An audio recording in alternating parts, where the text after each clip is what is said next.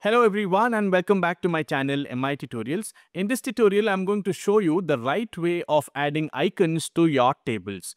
You might be used to adding icons the traditional way like right clicking on the field that you want to add the icon, go to conditional formatting and select the icon from this particular drop down and from here in the format style you choose rules and then choose your icons from this particular dialog box. But what if I told you there's an easier way of adding these icons to your tables especially when you have multiple tables by simply using a measure.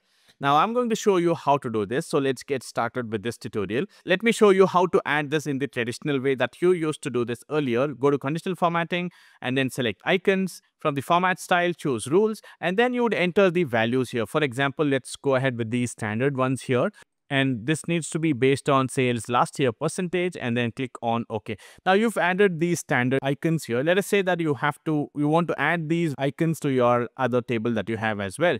Make sure that you're adding these icons on the same measure that we have used. For example, I can simply go in here, conditional formatting, and then go to icons. From the format style, choose rules. What field should this be based on? Sales last year percentage. Now, if you have to modify all of this, you'll have to keep repeating this process for all of your tables. For now, for the sake of this tutorial, I'm just going to click on OK now. You've added them.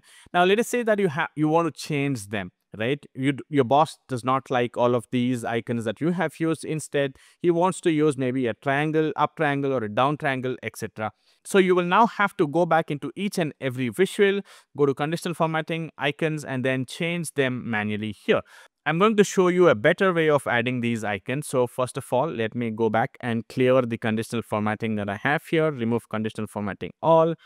Repeat the same thing for this table as well. Remove conditional formatting all. Now we will have to create a measure to achieve this. Before I create a measure, let me show you one of the website that I recently stumbled upon. The credit goes to Francisco Cabrera where he has identified all of the names that belong to these particular icons. Let us say that if you want to use these arrows here, all you have to use is the name here which is colored arrow up for a green arrow. If you want to use the red arrow here, you have to use the text colored arrow up red. Or if you want to use these triangles here, you will have to use triangle low, triangle medium, and triangle high. So let us see how to do this. And now back in Power BI, let's start by creating in a measure. I'm going to call this as conditional icon is equals to, I'm going to use the switch statement. Within the switch statement, let's pass in the true expression here.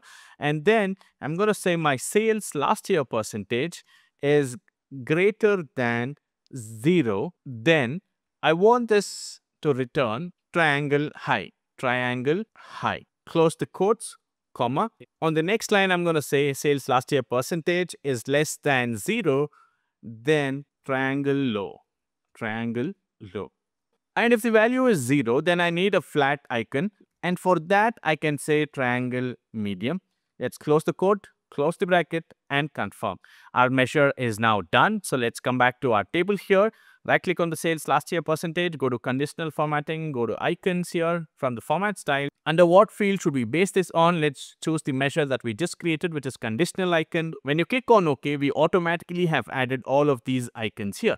Let's repeat the same process here for this table as well. Conditional formatting, icons, and from here choose field value and from this particular drop down choose conditional icon click on ok we've now added these icons to both of these tables it was a very simple process. We didn't have to choose all of these icons and enter the numbers manually there now, another benefit of using this is, let us say, for example, you publish this report. Now, your boss does not like these triangle icons. He wants to change them to maybe something else. Let's come back here. Let's take a look at different options that we have. You can either go with these arrows that we have here, or you can go with these traffic lights that you have, or maybe some of these icons like these, right? Let us say, for example, you want to change these icons now. I want to use these colored up arrow red. Now, all I have to do is I just have to change this for triangle high, I just have to say colored arrow up and then and then say colored arrow down and then click on confirm.